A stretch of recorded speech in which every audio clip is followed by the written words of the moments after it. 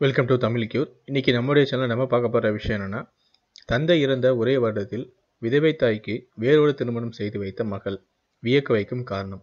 வாங்க என்னென்னு தெரிஞ்சுக்கலாம்.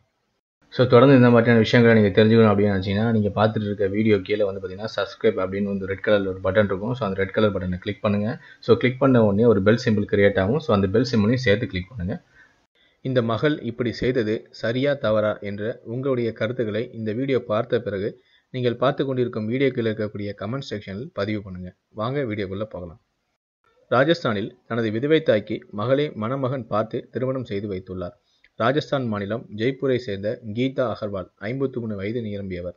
இவரின் கணவர் முகேஷ் குப்தா மாரடைப்பு காரணமாக கடந்த இரண்டாயிரத்தி பதினாறாம் ஆண்டு மே மாதம் உயிரிழந்துள்ளார். இந்த தம்பதியினருக்கு இரண்டு மகள்கள் உள்ளனர்.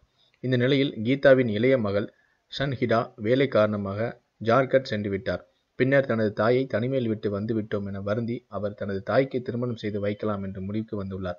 அத்துடன் தனது தாயின் தகவல் தகவலை திருமணம் வலைதளத்திலும் பதிவு செய்துள்ளார். இதையடுத்து ஜெய்ப்பூர் வந்த சன்ஹிடா தனது தாயிடம் இந்த விஷயத்தை கூறினார். இதை கேட்டு பயந்த கீதா மறுப்பு தெரிவித்தார். அத்துடன் சன்ஹிடாவின் அக்கா சஷியும் இந்த யோசனைக்கு கடும் எதிர்ப்பு தெரிவித்தார். பாரம்பரியம் வழக்கத்தை கொண்டு கீதாவின் குடும்பத்தினரும் இதற்கு மறுப்பு தெரிவித்தனர். இருப்பினும் மனம் தளராத சன்ஹிடா தொடர்ந்து பேசி தனது தாயை ஒப்புக்கொள்ள செய்து முயற்சியும் மேற்கொண்டார்.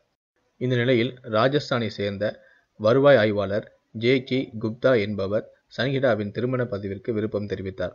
இவரை சன்ஹிடா தொலைபேசியில் தொடர்பு கொண்டு பேசிய போது ஜே ஜி குப்தாவின் மனைவி கடந்த இரண்டாயிரத்தி பத்தாம் ஆண்டு கேன்சர் நோயின் காரணமாக உயிரிழந்தார் என்பதும் இவருக்கு இரண்டு மகன்கள் இருப்பதும் தெரியவந்தது. இதையடுத்து அவரை தனது தாய்க்கு திருமணம் செய்து வைக்க முடிவு செய்த சன் சன்ஹிடா ஒரு வழியாக தனது தாயை சமாதானம் செய்துள்ளார். இதையடுத்து திருமணத்திற்கு ஒப்புக்கொண்ட கீதா அறுவை சிகிச்சை மூலம் தனது கர்ப்பப்பையை நீக்கியுள்ளார். இதைத் தொடர்ந்து திருமணமும் நடைபெற்று தற்போது கீதாவும் குப்தாவும் த தம்பதிகளாக வாழ்ந்து வருகின்றனர். இந்த நிலையில் தனது தாயின் முகத்தில் சமீப காலமாக தான் சிரிப்பை காண முடிவதாகவும் சன்ஹிடா மகிழ்ச்சியுடன் தெரிவித்துள்ளார்.